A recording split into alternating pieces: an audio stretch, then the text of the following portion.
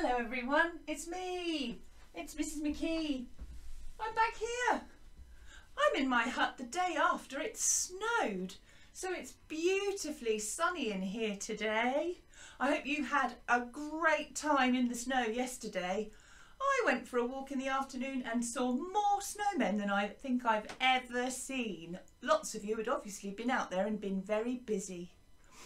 So today you're going to need your pretend percussion instrument that you might have found around the house at the very end of our lesson. I'm just going to move the microphone.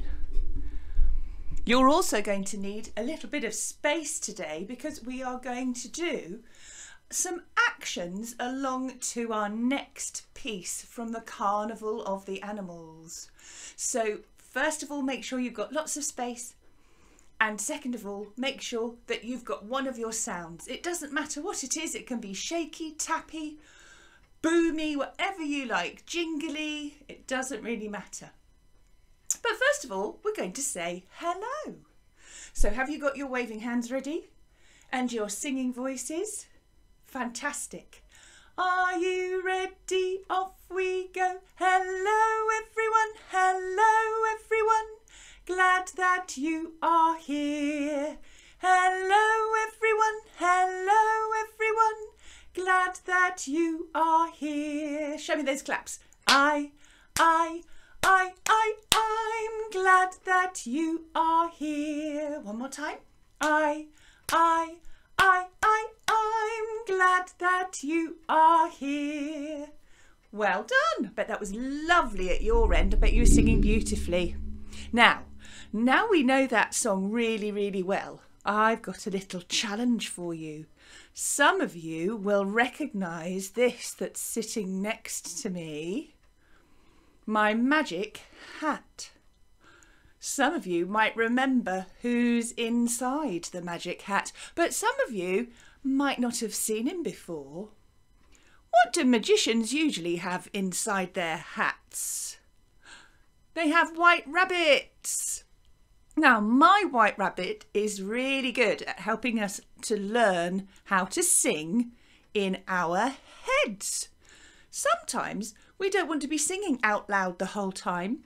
Sometimes we need to be using our thinking voice, not our singing voice or our speaking voice, but our thinking voice. And my magic bunny, here he is. Do you want to have a close up? He says. Don't say he looks like a mouse. I worked very hard to make this bunny. So, he's going to help us use our thinking voices. Let me show you how. We're going to sing the hello song again. But every time the magic bunny is outside his hat, we use our singing voice. But every time, whoop, the magic bunny disappears back inside the hat, we're going to use our thinking voice to sing the song instead. So we still sing the whole song all the way through, but sometimes it's with our singing voice and sometimes we sing it in our head. Shall I show you how it goes? From the beginning, watch out for where the bunny disappears. Are you ready? Off you go. Hello everyone, hello everyone. Glad that you are here. Glad that you are here. Do you see what happened? I sang hello everyone the second time in my thinking voice. See if you can do it. Ready? Off we go. Hello everyone. Hello everyone.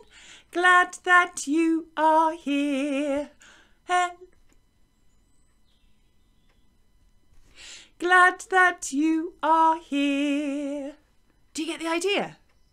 What happens if I put the bunny down at the end of each sentence? Let's try it from the beginning. Are you ready? Off we go. Hello, everyone. Hello, everyone. Glad that you are here.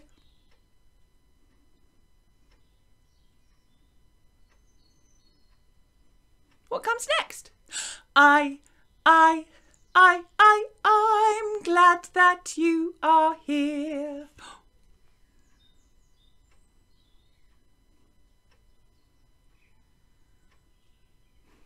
Did you finish the song at the same time as me?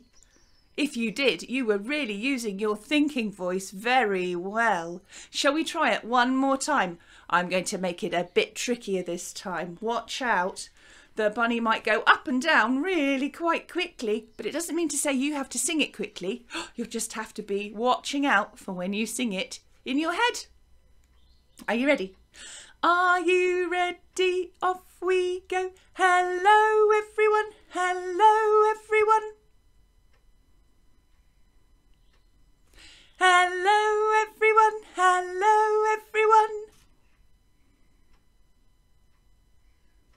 I, I, I, I, I'm. I, I, I, I, I'm. Something about when the magic bunny kept disappearing? Were we singing the same words every time in our heads?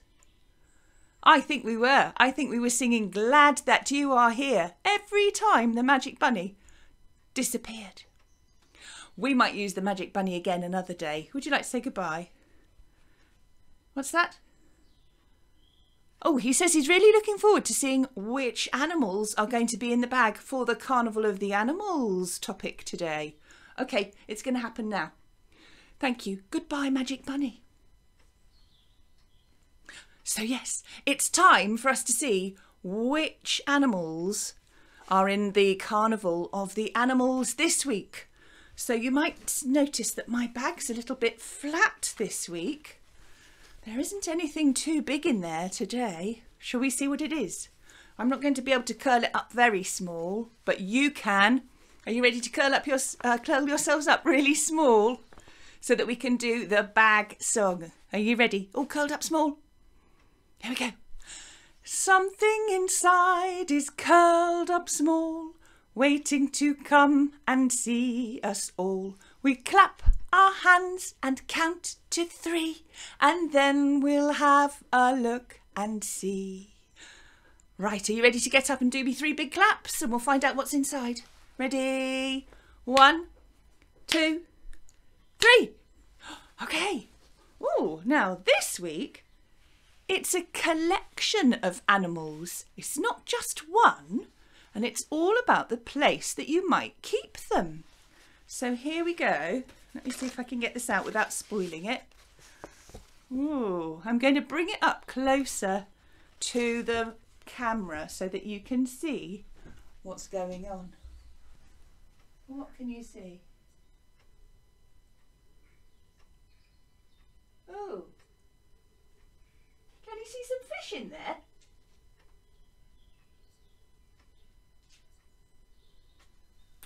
Do you the name of the place that you might keep fish if you have them inside, indoors?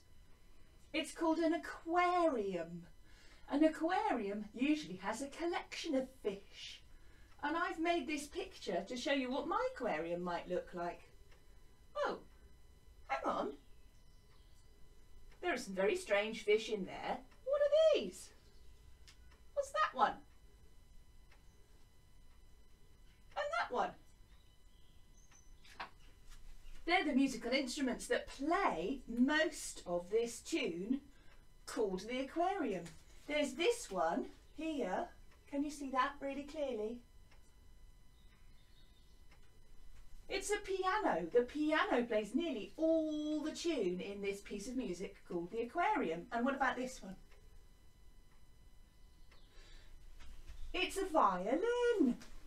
It looks very much like the double bass that we looked at last week being the elephant. But the violin is only this big so it makes a higher sound. Do you remember last time the double bass that was bigger than me made a really low sound?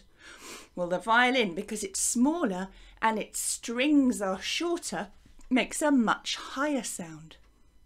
So, we're going to play the music for the aquarium, and I would love you to listen out for the piano and the violin parts. But I thought today, let's do some lovely actions to this music because it's very, very beautiful.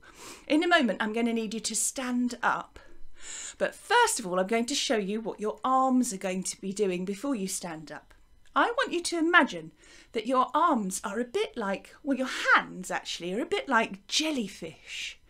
Have you ever seen a picture of what jellyfish look like when they move, when they swim? They kind of, I don't know if you can see this because of my microphone in the way, they sort of waft up like this. So could you do a waft like that of your jellyfish hands up as high as you can? Are you ready? So we're going to go jellyfish, jellyfish, jellyfish, jellyfish to the top and then I'd like you to bring your hand all the way back down to the start. Can you do it with your other hand? Jellyfish, jellyfish, jellyfish, jellyfish, all the way back round. Should we do that two times? Jellyfish, jellyfish, jellyfish, jellyfish, all the way round. And last time, jellyfish, jellyfish, jellyfish, jellyfish, all the way around. Now see if you can do it with both hands together. Jellyfish, jellyfish, jellyfish, jellyfish, all the way around. Lovely. Good. So that's our jellyfish move. One hand, then the other hand, and then both together. Now, after that, I want you to imagine that you are a little stream of bubbles coming down from the surface, and you're going in a little ribbon of bubbles like this. One hand, make a ribbon of bubbles all the way down. And then do it with the other hand. Ribbon of bubbles like that. Very good. Now can you make them go up? Bubbles going up. Up. Go the bubbles. And then out. Good. But let's go down this time. So we're going to go one down and then the other one, just like we did with our jellyfish, but we're going down. So one arm goes down, and then the other one comes down, and then back to the first one coming down, and then the other one down. Lovely, we've got a little pattern. So if I say jellyfish to you, remember you're going to go like this, and if I say bubbles, you're going to go like this. Okay? Great. Now, the next thing that you're going to be able to do is stand up for me because you're going to need to use some really big, big wavy arms like this all the way around. So we're going to make them go in one direction three times. Okay, so I'm going to go around this way, I think, first of all. So I'm going to go one, two, three, and then I'm going to make some waves over to one side. Can you do that with me? One, two, three, waves. So we're going to call this the wave move. Then I want you to go the other way. One, two, three, and then we're going to go waving over this way. Wave. Okay? So those are the wave moves. Can we do that all together? So we're going to go over this way first. So make sure, I, we're going to go one, two, three, waves. Now you're going to go the other way. One, two, three, waves. Lovely. So can you remember all of them so far? Jellyfish, bubbles, waves, and then there's one last action that we're going to do that I'm going to call starfish. So I want one hand to make a starfish up in the air, and then the starfish is going to twinkle down. And then another one on the other side, starfish, twinkle all the way down. And then if I say starfish more than once, I want you to make lots of them all over the air. Can you do that for me? Starfish, starfish, starfish, starfish, starfish, twinkle, starfish, twinkle. Starfish, starfish, starfish, starfish. And then the very last thing that we're going to do is do those beautiful ribbons again, but with our hands at the same time. So ribbons of bubbles. That's it. Nice and slowly. Ribbons of bubbles. And then the bubbles are going to rise to the surface like this. And then stretch. Okay, you should have all the actions now ready to listen to the aquarium music. So we're going to have our jellyfish, our bubbles, our waves, our starfish, and then both bubbles going all the way up. I've worn some wafty sleeves today because I thought that might look quite nice while I was being a bit of a starfish or a, some bubbles. You might want to do this with some, I don't know, some scarves or some ribbons tied to your wrists. If you put them in your hand, you can't do the starfish. So you might want to stop or do this again with something attached to your wrists so that they waft beautifully when you do your bubbles. Shall we try it? I think my machine might have gone to sleep. I'm going to move my microwave microphone because I know I'm going to knock it over when I stand up, and I'll also have to move my laptop so that you can see all of me. Let's see if I can wake it up while I'm moving this. Oh, all these technical challenges. Right, that should be better. Or maybe a bit further up so you can see my arms above my head. There we go. You can see the top of the pictures as well this time. Right. Here it goes. Let's start from the beginning. So a jellyfish. All the way down. Other hand. Jellyfish. Your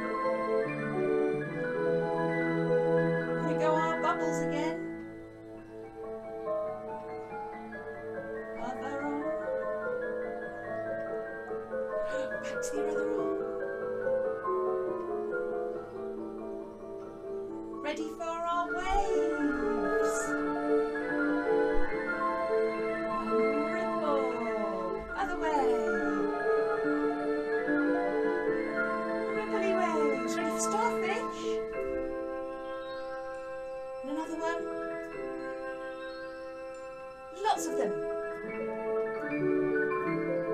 Back to the top.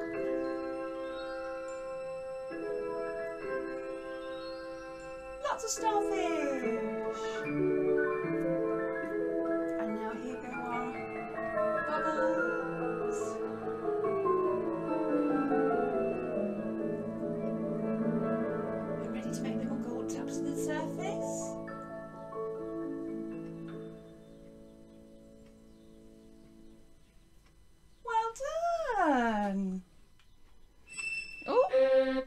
That's another one for another day. So you might like to have a go at that again at home. You might want to put some scars on your wrists. You might want to find the track on YouTube that I sent you and see whether your moves match what the fish are doing in the video. Hope you enjoyed that. I quite enjoyed doing a bit of dancing. Haven't done that for ages.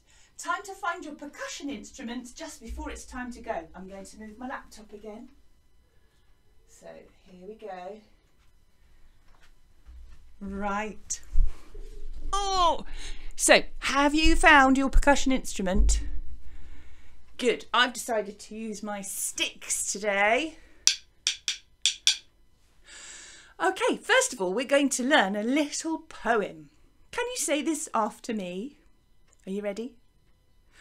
Fishes in the ocean, fishes in the sea. Can you play their names for me? I'll go first and then it's your turn. Fish is in the ocean, fish is in the sea. You do it. Fish is in the ocean, fish is in the sea. Can you play their names for me? Can you play their names for me? Well done. Fantastic. Let's see if we can do that all the way through. And I'm going to keep my sticks making a beat all the way through it. Can you remember the words? Are you ready? Off we go. Fishes in the ocean, fishes in the sea. Can you play their names for me? Fantastic. Would you like to say it along with me whilst you play your beat on your instrument? Can you do it? Get your instrument and see if it can make the same beat as mine is. One, two, three, four. Ready, ready, steady. Off we go. Fishes in the ocean, fishes in the sea. Can you play their names for me? Did that work? Did you manage to keep your beat the same as mine? Fabulous.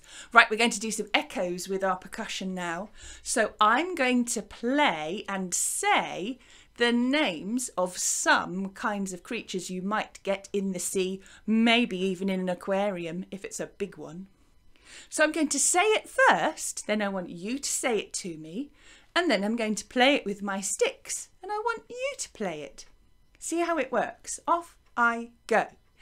Sea horses. You say it. Sea horses. Sea horses. You play it. Sea horses. Should we try that again? Now you know how it goes. I go first. Sea horses. Sea horses. Sea horses. Sea horses. Did that work? Good job. They're going to get a little bit more difficult every time we do one. Here goes another one. Have you ever heard of these? They're like little swimming tortoises. My go first. Terrapins. Terrapins. Terrapins. Terrapins. Did you do it? Good job.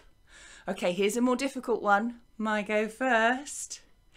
Slimy seaweed, slimy seaweed, slimy seaweed, slimy seaweed.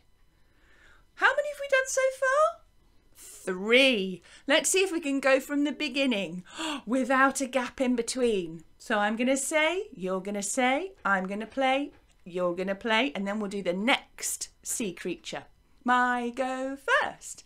Sea horses, sea horses, sea horses, sea horses. Terrapins, terrapins, terrapins, terrapins. Slimy seaweed, slimy seaweed, slimy seaweed. Slimy seaweed. Did that work? Did you manage it? Very last one then. Here we go. I love this one. It's one of my favourites. Off I go. Jiggling jellyfish. Jiggling jellyfish. Jiggling jellyfish. Jiggling jellyfish. Ooh, was that a bit more tricky? Did you have to move your percussion instrument a bit faster? I'll do it first. Off I go. Jiggling jellyfish. Jiggling jellyfish. Jiggling jellyfish. Jiggling jellyfish. Brilliant! Let's see if we can go from the beginning and say them and play them at the same time. Let me show you what I mean. Off I go. Sea horses, terrapins, slimy seaweed, jiggling jellyfish. Can you do it with me? Are you ready? Off we go. Sea horses, terrapins, slimy seaweed, jiggling jellyfish. Give yourselves a clap if you did that all the way through. Well done to you. You might like to think of some other sea creatures that you could play with your percussion instrument. You might try a different percussion instrument with the words that we just said and see if it's any easier or more difficult to play. So it's time for me to go, and I thought I'd just show you my aquarium one more time because if you like, if you have time, being that it's a snow day, I'm not sure if you might have less work to do, but if you feel like it, you have some time, maybe you'd like to make an aquarium as well. I just used some thick paper, but you could use a piece of cardboard. I used some brown paper ripped up to make the sand at the bottom and I used some more ripped up bits of green paper to make the seaweed. But you could always use something like kitchen roll or toilet paper and paint it or colour it. I did a painting of some sea at the back and then I just cut out or ripped up some shiny bits of wrapping paper to make the fish. But you could cut them out or you could draw them or you could use stickers. It's up to you. Let me show you it a bit more clearly one more time. So if you would like to make one, perhaps you could send us a photograph of what you've done and then we could have our own aquarium gallery, perhaps on the school website. That would be fab. So I hope you enjoyed listening to the aquarium this afternoon, and I shall look forward to seeing you next time for another trip with another animal. Take care, everyone.